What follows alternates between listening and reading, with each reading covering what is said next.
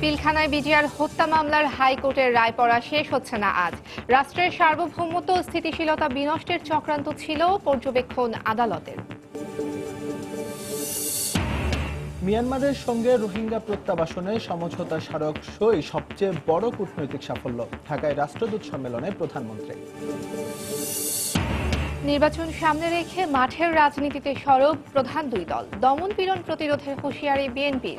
নিয়ম মাফিক কর্মসূচিতে বাধা দেয়া হবে না বলছে আওয়ামী লীগ।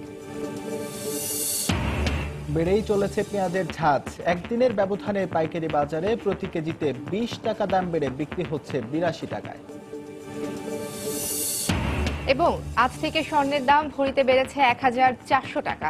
চোরাচালা নির্ভর বাজার হওয়ার কারণে অযৌক্তিক দাম টিআইবির প্রতিবেদন।